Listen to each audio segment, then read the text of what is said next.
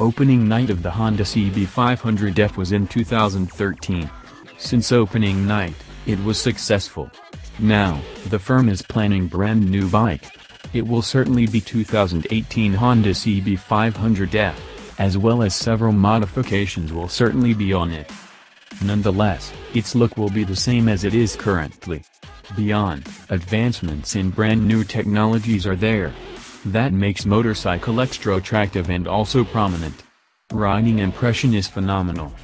This midsize bike is best for customers of all experience. Portable measurements, as well as superb performance, are highlights. High quality, as well as low cost of upkeep, are making Honda CB500F very thankful. 2018 Honda CB500F specs. The 2018 Honda CB500F will be ideal for all the motorcyclists trying to find fun. This is a practical choice for all them, whatever experience they have. For 2018 season, Honda supplied brand new bodywork, with changed highlights. LED lights are on both ends. The muffler is smaller sized compared to before.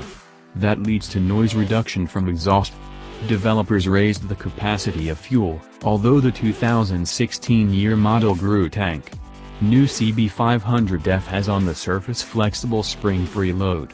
For the 2018 year, there are brand new front brake lever and few transmission updates. At the end.